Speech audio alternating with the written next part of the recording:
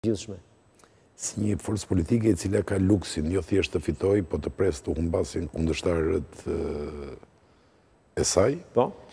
E dëgjuam Ramën në të hënën e shkuar që përmendi vitin dy mijë e tridhjetë, objektiva dhe synime. Zonja Spiropali si një nga njerëzit më të afërt të tij, sërish me po të njëjtën lehtësi përmend vitin dy mijë e tridhjetë dhe duket se garancia e parë 2030 do të thotë dhe një mandat tjetër. Se garancia e parë që i japin vetes për këtë lloj optimizmi politik, vjen pikërisht nga kjo që thashë, pavarësisht se çfarë do të bëjnë, pavarësisht pretendimeve për të bërë më të mirën e mundshme, pavarësisht aksidenteve të mundshme që mund të ndodhin rrugës, Shqipëria sot vuan nga mungesa e opozitës të shndërruar në alternativë qeverisëse. Nuk është kështu, Opozita duhet të jetë e tillë një herë dhe më pas të bëhet alternativë qeverisëse.